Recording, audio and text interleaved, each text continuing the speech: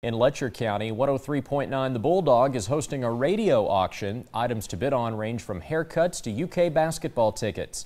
And the bidding is all for a good cause. Proceeds will go toward funding a sensory park at West Whitesburg Elementary.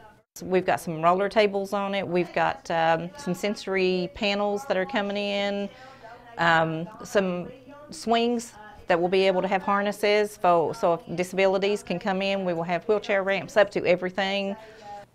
Tonight was the first night of the auction. They'll start tomorrow night at 5:30. You can call 606-633-2711 to place a bid.